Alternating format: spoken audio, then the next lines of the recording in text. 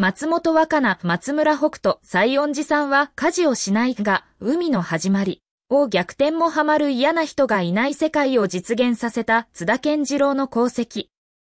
松本若菜40主演、ストーンズ松村北斗29が相手役の連続ドラマ、西園寺さんは家事をしない TBS 系火曜夜10時の第8話が8月27日に放送される。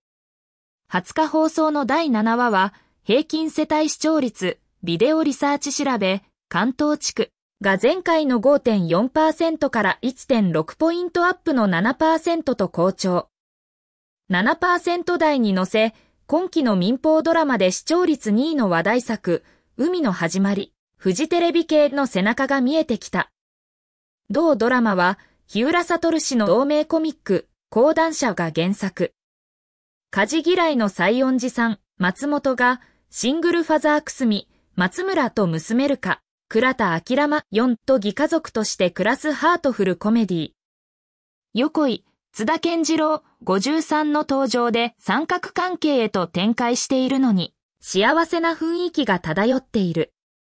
そこに視聴率アップの秘訣がありそうだ。第7話は、横井の提案により、西園寺さんは横井と仮彼氏としてお付き合いすることに。横井は積極的に義家族の暮らしに参加し、ルカはすっかり横井に懐いている様子。新形態にバージョンアップした義家族にワクワクする西園寺さんだったが、一方でくすみは、義家族プラス仮彼氏という関係性がどうにも理解できず、一人大混乱していた。そんな矢先、西園寺さんが急遽、ニューヨークへ出張することに。横井と共に留守を預かることになったくすみだったが、アプリ制作会社、レスキュー。で、アプリのエラーが見つかるトラブル発生。横井と社員たちに支えてもらう。一方、西園寺さんは出張先で苦手な英語で困っていたところを、くすみの大学の友人エリサ、大田里奈、36に助けられ、という展開。西園寺さん、くすみ、横井の三角関係が描かれると思われた回だったが、横井が義家族、仮彼氏をすんなり受け入れたため、恋の泥沼状態になるどころか、くすみ親子が困っている時によくは全力で支えてくれた。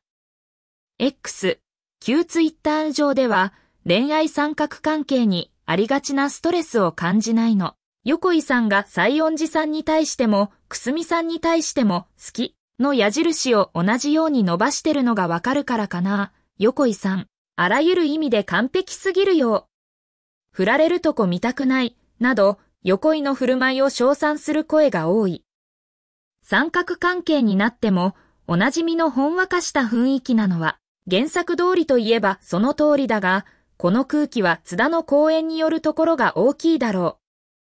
う。横井は、色気バリバリのイケメンながら、嫌味なところを一つも感じさせず、誠実で人の気持ちに寄り添え、無料お試しサンプルおじさんなど言葉のチョイスも絶妙。義家族、仮彼氏を受け入れるのは普通に考えたら不自然だが、横井ならあるなぁ、と思わせてしまう津田の演技はさすがだ。また、同じシングルファザーものの、目黒蓮27主演の海の始まりと比べられことが多いが、あちらは苦しむ人たちの姿を延々と描き続け、本作とはまさしく対照的。全く違うタイプの作品なので、どちらも見ているという人は多いのではないだろうか。その海の始まりは、目黒の体調不良で第9話を一周延期して特別編が放送される。終盤に来ての放送延期は、一周といえど盛り上がりに水を差すことになるだろう。平均世帯視聴率が7.4%、19日放送第8話、TVer のお気に入り登録数が191.1万27日19時現在と、海の始まりが上回っているが、視聴率では本作が逆転するかもしれない。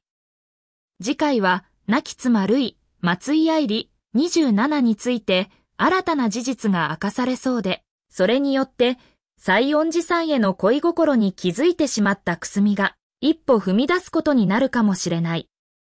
誰もが優しくて嫌な人が一切出てこない本作だからこそ、すべての人が幸せになる結末に期待したい。